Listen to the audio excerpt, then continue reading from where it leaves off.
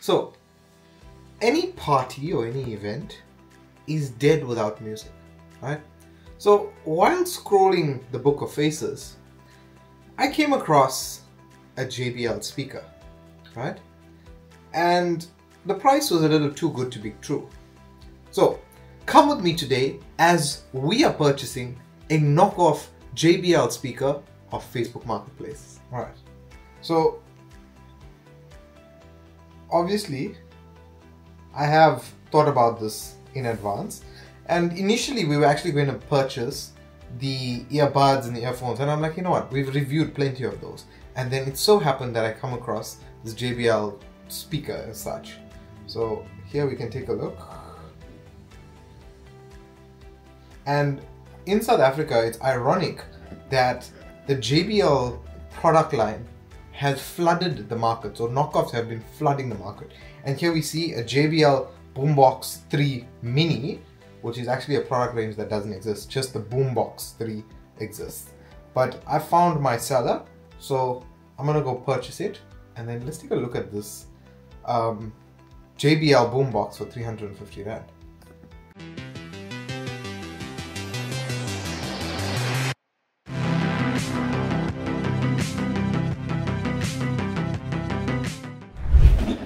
Right, so the goods have been acquired.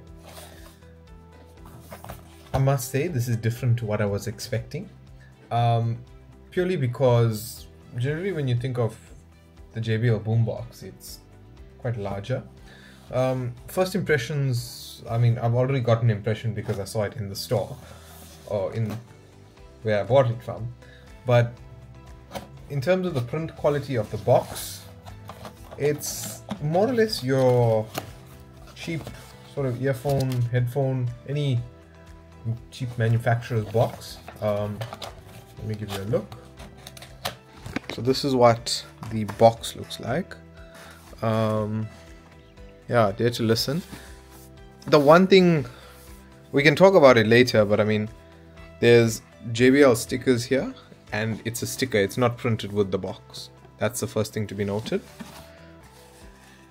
Um, but we'll talk about that in a little bit. So getting into the box, if we had to dive into what's in the box. In the box, we have our JBL Boombox 3 Mini, and it comes with an orange charging cable. Again, we'll talk about the charging cable in a second. Now, no, no, no, no, no. If we had to look at the JBL the box itself. So I went with the blue, right? And it has the same look and feel as a speaker, I can say, but it has that material knitted um, finish on the JBL itself.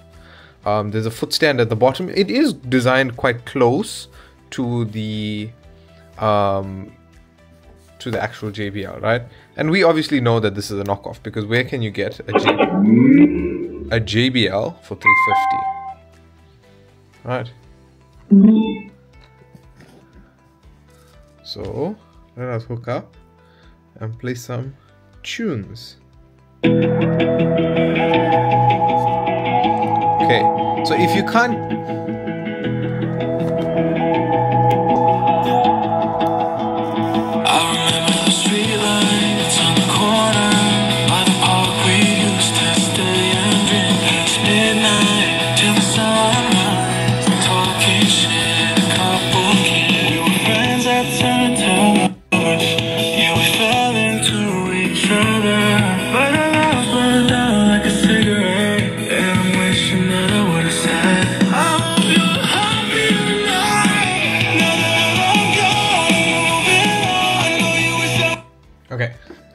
music paused.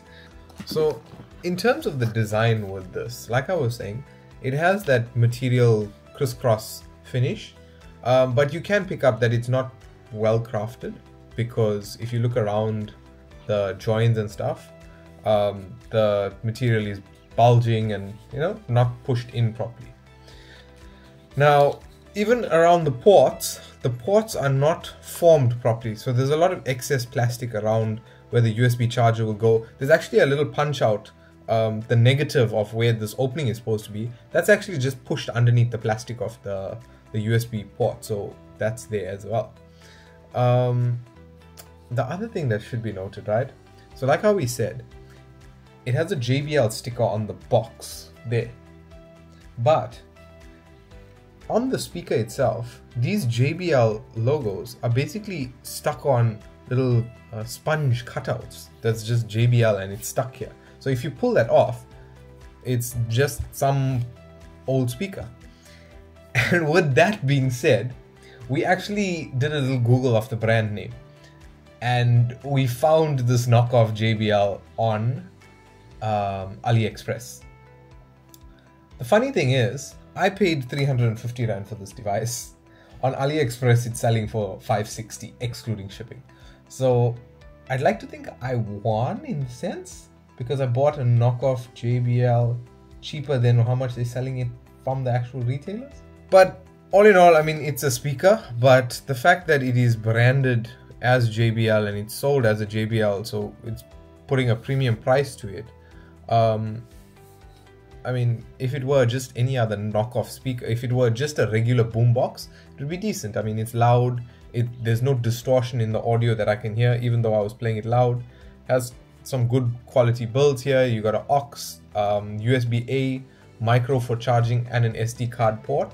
I mean, it stands up. That's perfect.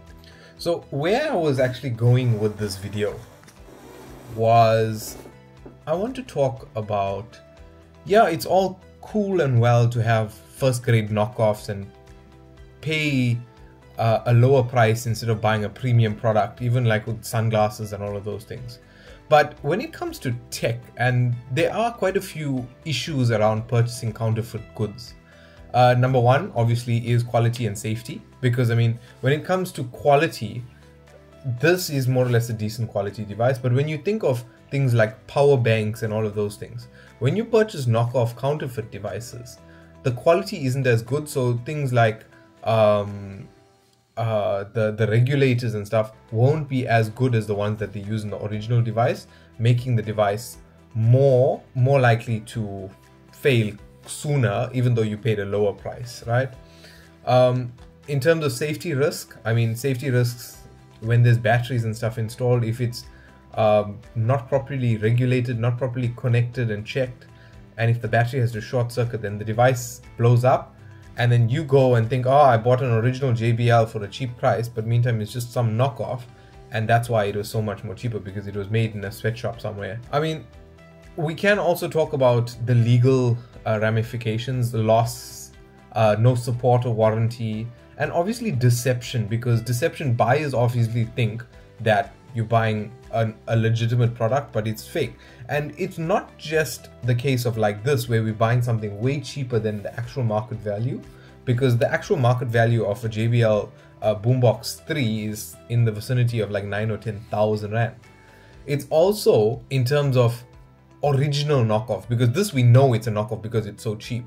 But you also have people that are selling knockoffs, even like something like this, if JBL had a product range that matched this, then someone would think, hey, it's an original JBL. And meantime, you might pay that four or five thousand rand for this exact device, but meantime, it's only like a hundred rand device that you purchased. We can also say the harm it does to the brand, obviously economic. So the brands lose out money, the companies lose out money, and then somewhere along the line, someone's benefiting that's not paying taxes and all of those things. It also tarnishes the brand reputation, right? So well-known brands exactly like this, JBL, are unaware that consumers are buying counterfeit products and having a bad experience and then you see uh, reviews and stuff online that hey the JBL is a rubbish product but you went and bought it from a shady dealer.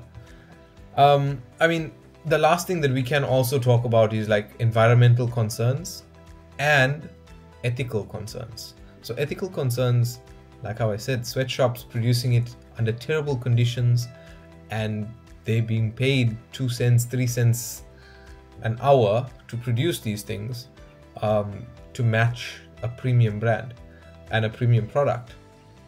So yeah, I hope I haven't spoken too much and made this too boring, but thanks for coming with us and purchasing my knockoff product off Facebook Marketplace.